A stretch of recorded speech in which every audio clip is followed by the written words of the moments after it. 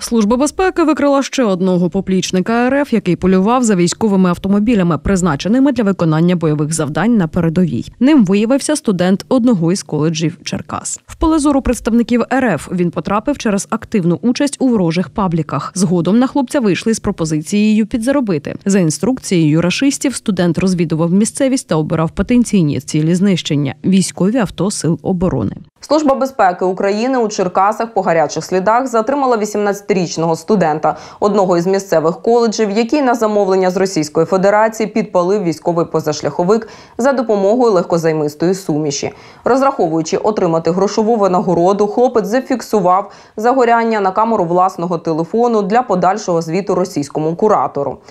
Однак обіцяних легких грошей від окупантів хлопець так і не отримав. Наразі слідчі служби безпеки України повідомили фігуранту про підозру за частиною 1 статті 114 прим. 1 кримінального кодексу України.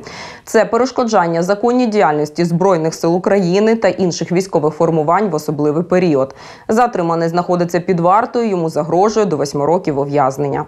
Комплексні заходи з викриття проводили співробітники СБУ в Черкаській області за процесуального керівництва обласної прокуратури.